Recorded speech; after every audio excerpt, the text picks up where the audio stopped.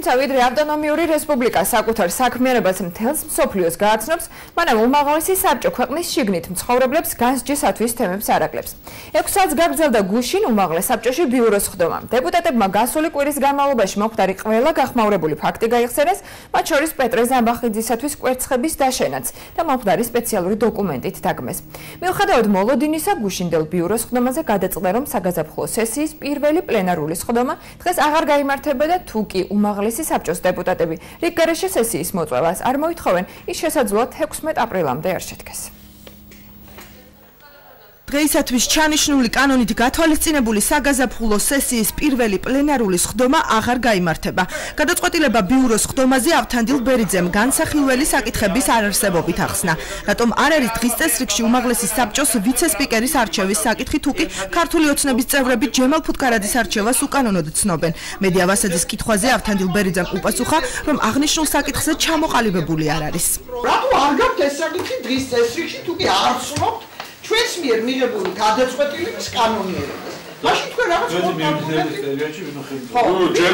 ჯერჯერობით არა ვარ ჩამოყალიბებული ამ საკითხთან დაკავშირებით, რომ დავახენოთ კანდიდატურა, ამდა განვიხილოთ ეს საკითხი. მიუხედავად იმისა, რომ საკითხი ბიუროს ხდომის დღის წესრიგში ოპოზიციონერი დეპუტატების მოთხოვნით შევიდა, საბოლოოდ ქართული ოცნების დეპუტატების გადაწყვეტილებით საკითხი განხილვის გარეშე მოიხსნა.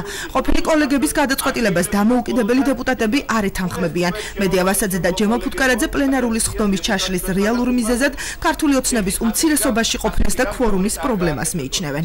მათ არა აქვთ უმრავლესობა, ის უმრავლესობა, რომელიც მათ ვერ მოიპოვეს თანამდებობის პირების გადაყენების დროს, მათ არა აქვთ ის უმრავლესობა, რომელიც მათ ვერ მოიპოვეს მათთვის სასურველი კანდიდატის უმაღლეს საბჭოს თავმჯდომარის მოადგილედ არჩევის დროს, ქართული ოცნება მათთვის სასურველ გადაწყვეტილებას ამ მოწვევის უმაღლეს საბჭოში უკვე ვეღარ მიიღებს. მე ვფიქრობ, რომ არის ქვორუმის პრობლემაც, ქალბატონი სვეტა ისევ წოლიარე მდგომარეობაშია, მას დღეს დაურეკეს და უთხრეს და მოუგვარეს ბიულეტენის საკითხი. თუკი ქართული ოცნების წევრები, რომლებიც უმრავლესობას ვეღარ ქმნიან სხდომებს, არ დაესწრებიან იწრებიან უმაღლესი საბჭო თავის ფუნქციას ვერ შეასრულებს აცხადებენ ნაციონალურ მოძრაობაში.